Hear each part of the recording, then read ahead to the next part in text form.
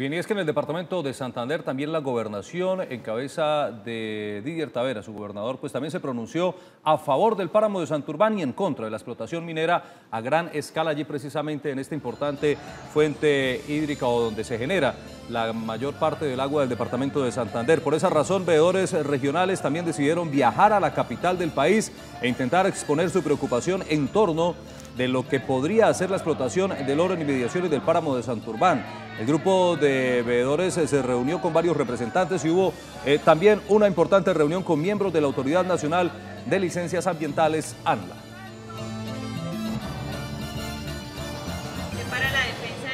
El páramo de Santurbán hace presencia en la ANLA y en el Congreso para rechazar las declaraciones del presidente Juan Manuel Santos en donde le da el aval a la multinacional árabe Minesa y su proyecto nefasto para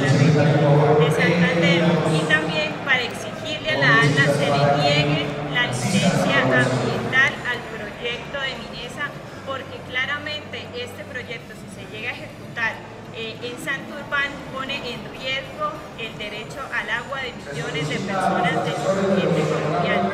Los santanderianos hoy desde Bogotá le decimos al presidente y al gobierno nacional que no queremos los dólares de los árabes, que queremos nuestro páramo y nuestra agua protegida para esta y las futuras generaciones de Santander.